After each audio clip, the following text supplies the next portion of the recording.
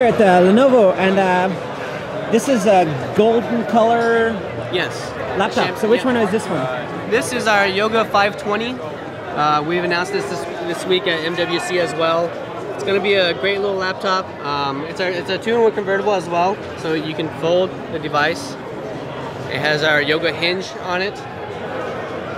What makes this device great is it's uh, comes in at a good price point of 799 starting price point, and it offers our yoga capabilities.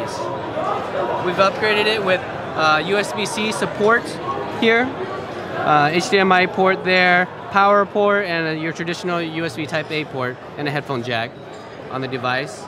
Now, if we move to the other side, you'll see that we have a SD card slot, uh, another standard USB Type A port, and a Kensington lock port. Uh, which uh, is a Kaby Lake.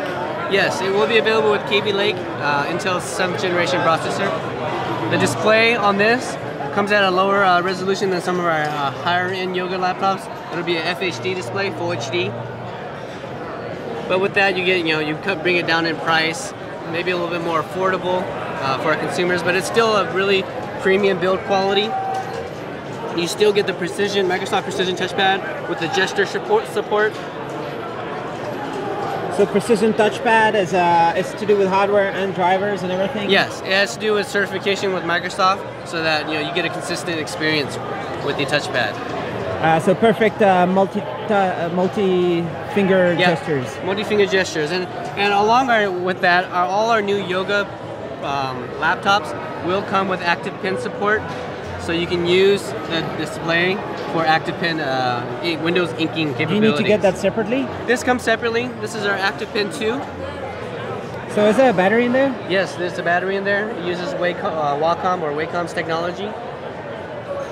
And it has 4,096 levels of pressure sensitivity. Nice. And it'll be available separately for $59.99 US dollars.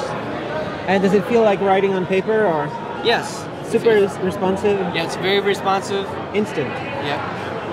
For example, uh, take a note here.